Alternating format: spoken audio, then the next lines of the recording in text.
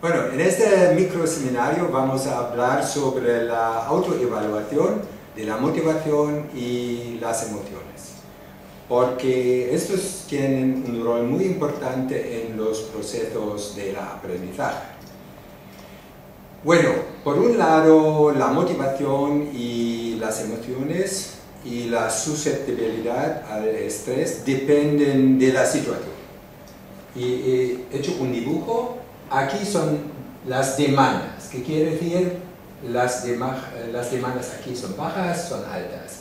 Y aquí son los propios recursos, bajos, altos.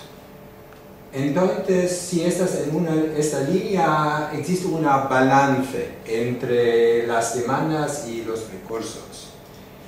Si no, porque, por ejemplo, cuando estás aquí, las demandas son, muy altos, mientras tus recursos son bajos.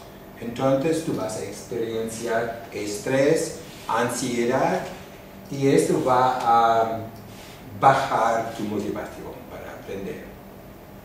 Aquí en el cuadrante 4, ah, las demandas son bajos, pero los recursos son altos. Entonces, estás bien, quizás un poco aburrido, pero bueno, quizás este va a disminuir tu motivación para trabajar.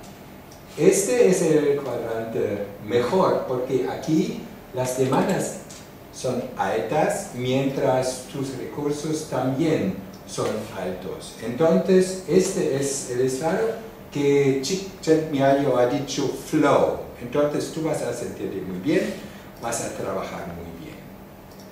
Bueno, esta es la situación donde la motivación y las emociones dependen de la situación, pero también son características personales.